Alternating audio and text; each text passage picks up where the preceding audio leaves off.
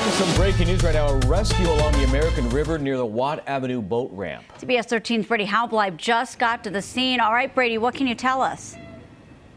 Yeah, guys, I'm on the Watt uh, boat ramp right now. We're actually just near it, and things are just wrapping up here after what we're told was a water rescue today. According to SAC Fire, we're told it was a homeless encampment that became entrapped by rising water levels. The call came in around 4:30 this afternoon. SAC Fire tells me they rescued one person. The good news is the man was uninjured during the whole situation and was taken and was not taken to the hospital.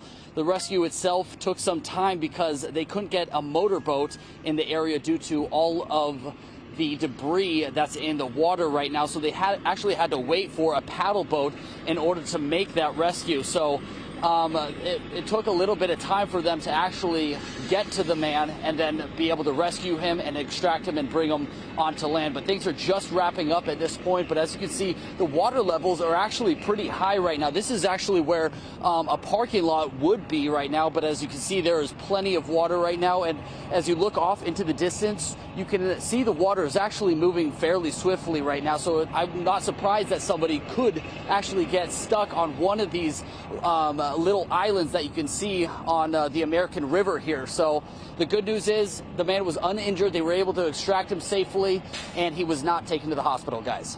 Yeah, certainly good news and a tricky rescue with all that debris they had to navigate. Brady, thank you along the American River tonight.